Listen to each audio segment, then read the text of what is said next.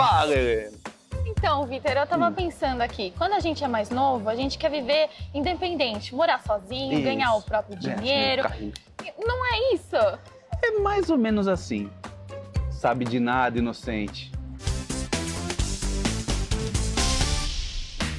Helena, ó, segura, segura essa emoção aí um pouquinho, porque uns pesquisadores australianos, eles dizem que a gente tem que esperar um pouquinho mais para se chamar de adulto.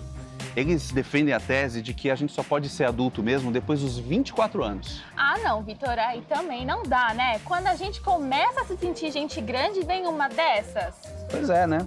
Ah, ser não. independente. É, peraí, minha mãe tá me ligando. É. Alô, mãe? Deixa ela acabar a ligação, a gente fala mais desse Oi. assunto no Domingo Espetacular.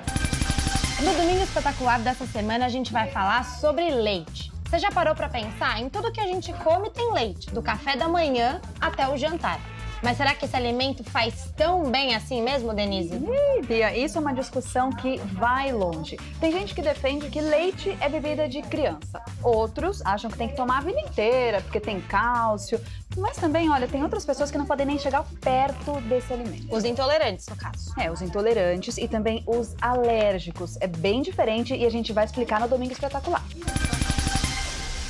Ô, Chico, tá correndo, vamos gravar a chamadinha? Ah, não, Vitor, agora não. Tô com a fome da bexiga lixa, preciso encher meu bucho. Bexiga lixa? Bexiga lixa é do dicionário de pernambuquês. Mas quem vai explicar pra vocês é a Maga lá de Recife, ela sabe tudo sobre isso. Tu tá me aperreando uma hora dessa, é? Mas beleza, como eu sou arriada aos quatro pneus pelo meu público, eu vou contar a todo mundo como é que se fala aqui no nosso Pernambuco. Assista no Domingo Espetacular, logo coladinho com a hora do fado, tá bom? Encontro vocês lá, agora não assista não, pra você ver se não vou ficar retada.